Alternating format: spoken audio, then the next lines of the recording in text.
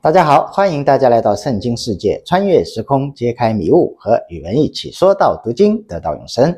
前面我们说了大卫与八十八的犯罪心理与原因，以及之后大卫以范本式的悔改认罪态度啊，取得了神的宽恕。然而，神的慈爱怜悯与圣洁公义是同时存在的啊。大卫虽然因神的怜悯而心意更新。重新建立了与上帝的良好属灵关系，但肉体上的惩罚却是免不了的。神借着先知拿单所预言的对大卫的惩罚，在之后的十几年的时间里呢，便展开了。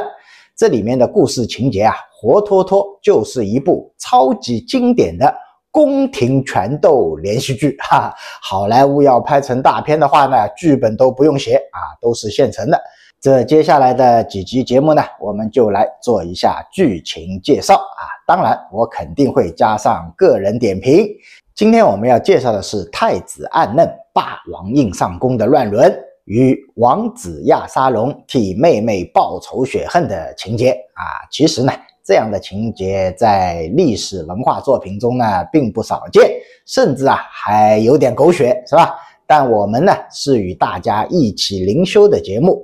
因此，必须从上帝视角来解析与点评，看看暗嫩是怎么会做出如此畜生不如的行为的啊，以及呢亚沙龙的报仇行为符不符合上帝的公义？那么，在节目开始之前，依然拜托大家多多点赞、留言、分享，并按下订阅键，谢谢大家的支持。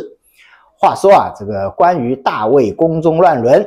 及手足相残的情节呢，有三个主角啊，这个暗嫩、亚沙龙和他玛。这个第一大反派暗嫩呢，是大卫的长子啊，也就是当时的太子王位继承人。他出生在希伯伦啊，亲生母亲呢是大卫在当游击队长时候娶的妻子亚希暖哈。这个扫罗的老婆啊，也有一个叫亚希暖，大家不要搞混了。这段情节的男一号啊，是被圣经描述为从头到脚啊长相毫无瑕疵的三王子亚沙龙啊，而受害者啊苦主他玛是亚沙龙的妹妹。这对亲兄妹的生母啊，可是大有来头的。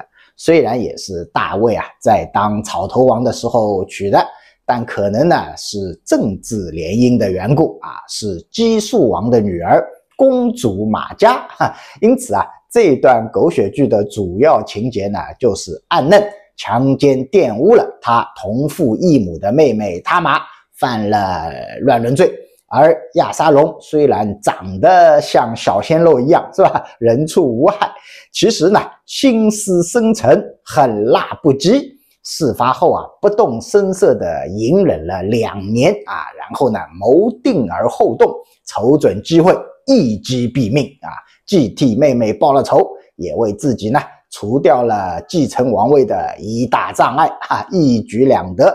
在这里啊，大家还要明确一个概念。那有人说啊，这个旧约时代不是允许兄妹结婚的吗？他们的老祖宗啊，亚伯拉罕与萨拉就是兄妹。这个问题呢，在之前的节目中呢，我们也解释过。人类啊，既出于一个源头，那么最初的时候呢，为了繁衍生养，当然免不了出现这种情况。但到了摩西时代啊，上帝的律法呢，就明文禁止了这种行为。立位记十八章六节规定说：“你们都不可入骨肉之亲的下体，亲近他们。”啊，九节明确说：“你的姐妹。”不拘是异母同父的，是异父同母的，无论是生在家、生在外的，都不可入他们的下体啊！当然了，到大卫时代呢，还有些特殊情况啊是允许的啊，比如为了延续血脉，经过长辈批准啊，明媒正娶，可能也是有例外的。否则啊，后面他妈也不会要求暗嫩去求父王恩准，我才从了你，是吧？但无论是以前还是那时，任何情况呢都不允许强奸啊和私自苟合。下面啊，我们就来看看这段剧情的全过程。圣经上呢，虽然没有介绍过大卫的这个公主老婆的长相啊，但我个人觉得，凭大卫的审美与爱好，哈，这个娶老婆这个问题上呢，一定不会委屈自己啊，甚至要求很高。因此啊，这个公主虽有可能是政治联姻。但那一定也是一个超级美女啊！不但亚沙龙生的毫无瑕疵，她妹子他玛的美貌啊，也可想而知。把个大哥太子暗嫩啊，是迷得只要美人不要江山了，整天就琢磨啊，怎样才能将我这个妹子搞上床？要说啊，凡是坏人身边呢，一定有奸佞小人啊，物以类聚嘛，是吧？这个暗嫩身边的小人啊，就是他的堂兄啊，大卫长兄的儿子叫约拿达。这个人呢，一肚子坏水啊，吃准了这个太子兄弟肚子里没什么墨水啊，草包一个，变成了太子党的第一智囊。看着太子啊，整天茶不思饭不想的啊，就问太子殿下：“我看你一天天无精打采的啊，人都瘦了一圈。”这样下去，叫臣等何以自处啊？到底有什么让你这样烦心的呢？这个太子一看，哦，是表兄，也不瞒他，回答说：“还不是因为我那妹子他妈啊！你不会理解我有多爱她，我必须得到她，否则还活个什么劲啊？”这约拿达一听，哦，你要活不下去了，我们不就白瞎了吗？立刻呢，替太子殿下想出了一个不要命的馊主意。哎呀，太子兄弟啊，你有这心事怎么不早说呢？我给你出个主意啊，保证你称心如意。暗嫩听他这样讲呢，不禁一阵心痒难耐啊！快说快说啊！我们看圣经记载，约拿达说：“你不如躺在床上装病，你父亲来看你，你就对他说：求父叫我妹子他玛来，在我面前预备食物，递给我吃，使我看见。”好从他手里接过来吃。于是暗嫩躺卧装病，王来看他，他对王说：“求父叫妹子他玛来，在我眼前为我做两个饼，我好从他手里接过来吃。”大卫就打发人到宫里，对他玛说：“你往你哥哥暗嫩的屋里去，为他预备食物。”他玛就到他哥暗嫩的屋里，暗嫩正躺卧。他马团面在他眼前做饼，且烤熟了，在他面前将饼从锅里倒出来，他却不肯吃，便说：“众人离开我出去吧。”众人就都离开他出去了。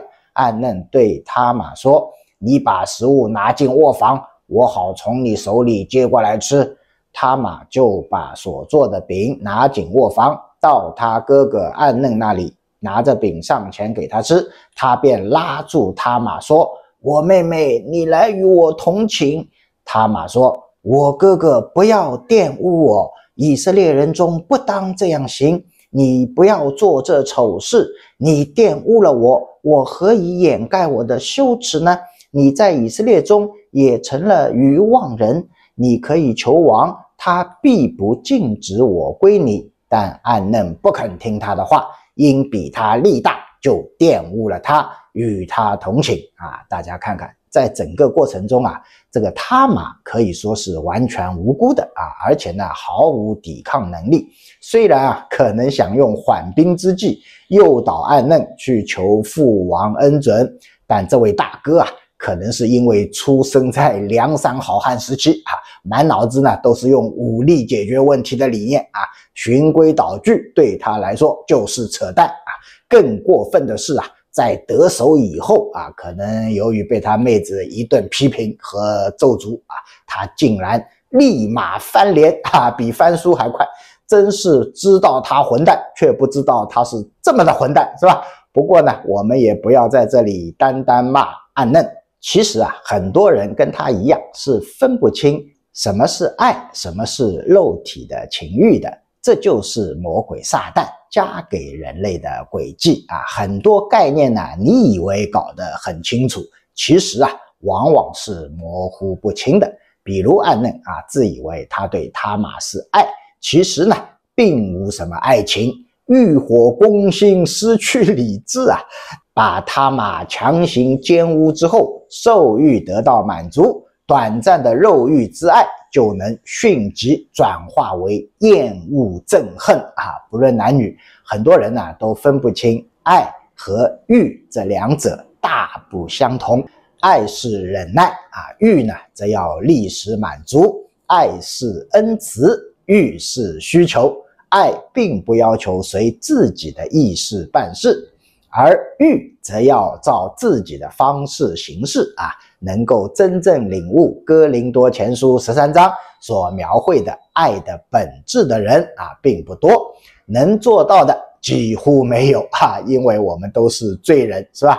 但信徒呢，至少应该在读经祷告后，能够理解圣经所定义的爱的真谛。用一句话解释，就是爱重在奉献付出，而情欲则重在得到欲望的满足。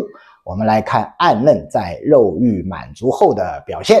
随后，暗嫩极其恨他，那恨他的心比先前爱他的心更甚。对他说：“你起来去吧。”他玛说：“不要这样，你赶出我去的这罪比你才行的更重。”但暗嫩不肯听他的话，就叫侍候自己的仆人来说：“将这个女子赶出去。他一出去，你就关门上栓。”那时，他嘛穿着彩衣，因为没有出嫁的公主都是这样穿。暗嫩的仆人就把她赶出去，关门上栓。他嘛把灰尘撒在头上，撕裂所穿的彩衣，以手抱头，一面行走，一面哭喊：“啊，这暗嫩呐，始乱终弃，强奸自己妹妹啊，已经是人神共愤的行为了。完了呢，还一点不想对此负有什么责任啊，这就更是败类了啊！好好的一个天之娇女，就这样被他给彻底毁了。这他妈从此以后呢？”就躲在自己亲哥哥亚沙龙的家里，郁郁寡欢度日啊，真的是好不凄惨啊！这个亚沙龙在听到妹妹的哭诉后，虽然呢无比愤怒啊，已立定心志杀了这个同父异母的太子哥报仇啊，洗刷家族的耻辱，但表面上啊却极其的隐忍啊，还关照妹妹啊，你先不要声张。表现出超越其年龄与长相的深层谋略，同时呢，这事也传到了大卫那里啊。但这大卫啊，虽然雄才大略，非常的属灵，但对家庭子女的教育和管理呢，却是完全失败。他听到这么不堪的事情，虽然龙颜大怒啊，却又重拿轻放，毫无作为，这就既纵容了暗嫩的恶行。又加深了亚沙龙的仇恨啊！我们看圣经，大卫王听见这事就甚发怒。亚沙龙并不和他哥哥暗嫩说好说歹，因为暗嫩玷污他妹妹他玛，所以亚沙龙恨恶他。过了两年，在靠近以法莲的巴利下所，有人为亚沙龙剪羊毛，亚沙龙请王的众子与他同去。亚沙龙来见王，说：“现在有人为仆人剪羊毛，请王和王的臣仆与仆人同去。”王对亚沙龙说：“我儿，我们不必都去，恐怕使你耗费太多。”亚沙龙再三请王，王仍是不肯去，只为他祝福。亚沙龙说：“王若不去，求王许我哥哥暗嫩同去。”王说：“何必要他去呢？”亚沙龙再三求王，王就许暗嫩和王的众子与他同去。亚沙龙吩咐仆人说：“你们注意看暗嫩饮酒畅快的时候，我对你们说杀暗嫩，你们便杀了他，不要惧怕。这不是我吩咐你们的吗？你们只管壮胆奋勇。”亚沙龙的仆人就照亚沙龙所吩咐的向暗嫩行了。王的众子都起来，个人骑上骡子逃跑了啊！大家看看这个亚沙龙啊，隐忍了整整两年，瞅准机会一击致命啊！真不愧是一个狠角色，怪不得啊，能够造反，是吧？那说到这里呢，就几个主要角色啊，我们做一下阶段性点评啊。这个暗嫩的行为啊，展示了人类欲望失控后所带来的罪恶。他呢，心生邪念，欲望占据了他的思想，导致他违背道德和律法啊，不管不顾，采取了强暴的手段。这表明啊，这个圣经一贯警戒的关于情欲的罪行，箴言六章三十二节说：“行淫的便是无知，这样行的人败坏自己的灵魂。”啊，暗嫩的行为呢，正是缺乏自控、沉溺于肉体欲望的典型例子，违反了神对于人与人之间关系的圣洁要求。他玛被暗嫩侮辱后呢，表现出的痛苦与悲伤，反映了旧约中啊对贞洁和家庭尊严的重视。在摩西律法中有明确的规定啊，要保护女子免受性侵犯，并要求呢对肇事者施加严厉的惩罚。然而呢，在他玛的遭遇中，律法。并未得到执行啊！大卫王呢也未严厉惩罚暗嫩啊！这可能啊，因为他是太子嘛，大卫要维持王朝的稳定，但这一放纵呢，导致了更大的悲剧啊！所以我们一定要赏罚分明，是吧？作为最高领导来说，这个不义之罪啊，在社会和家庭中的深远影响是不得了的啊！千万不能放纵。而亚沙龙虽然目标正义，是吧？为妹妹报仇，为王朝除害，但所用的手段和方式呢，却缺乏合法性啊！这种报复行为啊，并不符合圣经所提倡的正义。根据摩西律法，伸张正义的权利应当由神和合法的审判程序来进行，是吧？而不是个人私自报复。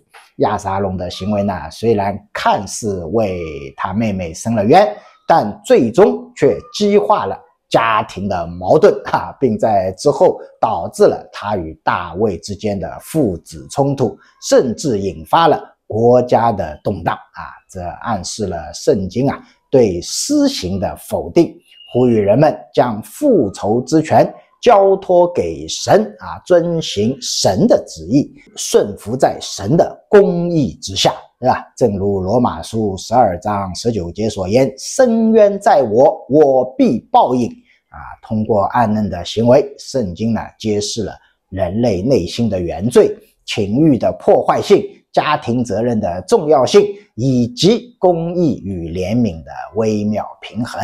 暗嫩的不堪行为啊，和亚沙龙的私自报复行为，说明这个罪的恶果啊，不仅影响个人，冤冤相报何时了，是吧？还对整个家庭和社会产生深远的影响。